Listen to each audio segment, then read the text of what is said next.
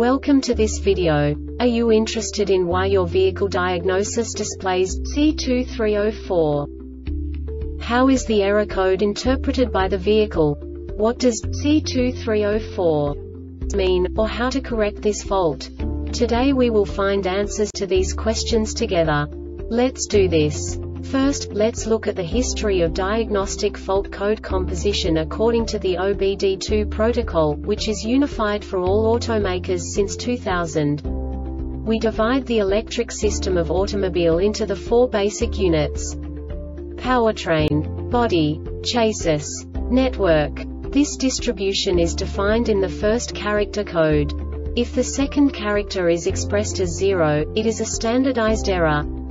In the case of numbers 1, 2, 3 it is a more prestigious expression of the car-specific error. The third character specifies a subset of errors. The distribution shown is valid only for the standardized DTC code. Only the last two characters define the specific fault of the group. Let's not forget that such a division is valid only if the other character code is expressed by the number 0. Our website airbagreset.sk produces useful videos for you. You do not have to go through the OBD2 protocol anymore to know how to troubleshoot any car breakdown. You will find all the diagnostic codes that can be diagnosed in a Toyota vehicles. Also many other useful things.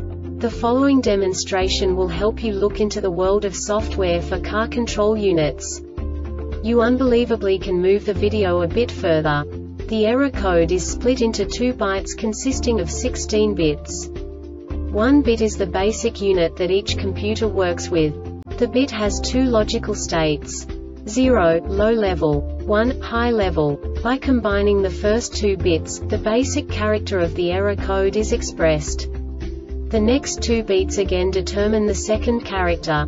The last beat styles of the first byte define the third character of the code. The second byte is composed of a combination of 8 bits. The first 4 bits determine the fourth character of the code. And the combination of the last 4 bits defines the fifth character.